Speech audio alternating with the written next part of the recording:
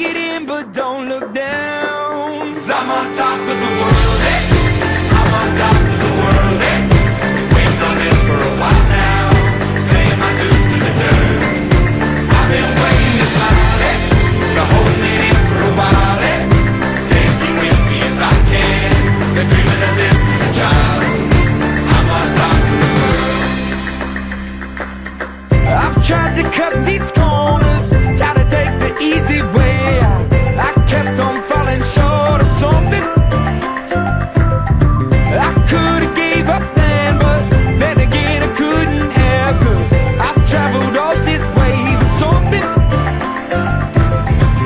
Take it in, but don't look down. i I'm on top of the world, hey.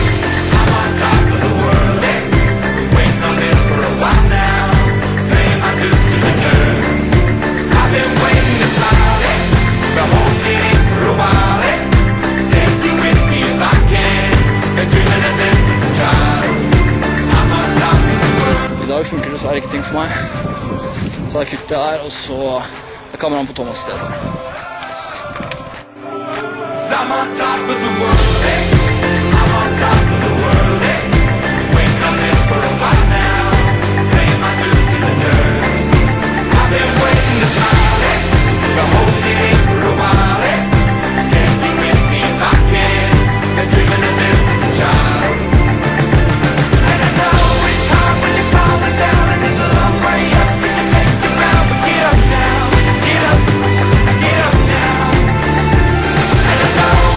Har du lyst til å fortelle hva du gjør i dag, eller? Bra start. Ja. Starta med eh, fire 200-metere. 33, 32, 31 og 30. Løper jevnt litt for fort på de.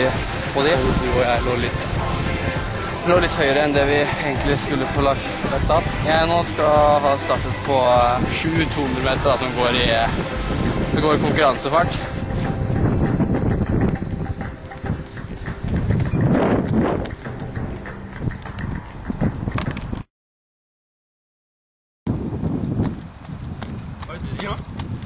Jeg sa vi skulle gjøre helt Vi skal ikke gjøre alle frontkurser vi kan. Jeg sa vi begynner spark bak, og så tar vi spark bak.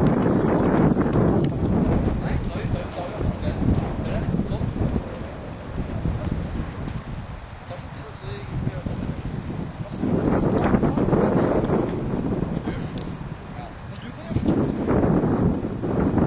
Tar du den veien?